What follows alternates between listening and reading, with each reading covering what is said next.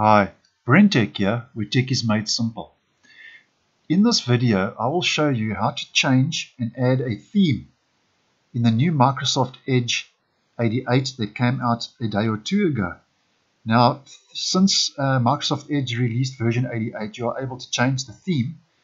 And if you are wanting to do this, go to the top right hand corner of Microsoft Edge to the three dotted menu, go down to settings, then on the left, go to appearance.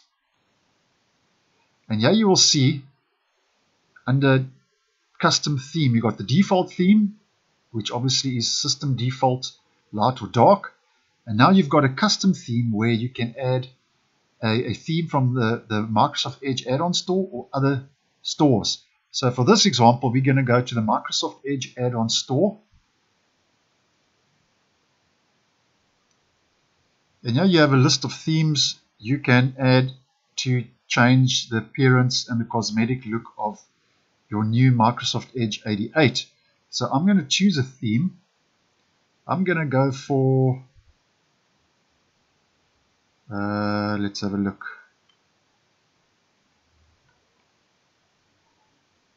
Wandering Fields. Let's go for that one.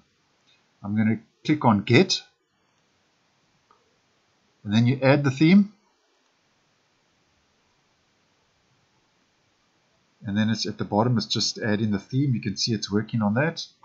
And then if we X out of that let's go to our home page.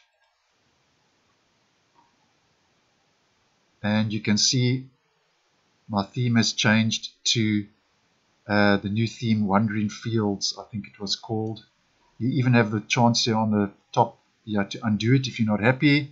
I'm happy, so I'm going to do that. You can see my colors of my actual um, Microsoft Edge borders have changed and my um, background picture has changed. Now, if it doesn't change um, when you apply the theme, you can go to your settings, custom, and you just go custom theme, and there's a little tab there you can click on to force it to change to your custom theme. And that is how you apply theme in the new Microsoft Edge 88. And also, if you want to get rid of it, if you are, you know, you want to change your theme at a later period, all you do is you go remove, and you can see I'm right back to where I started.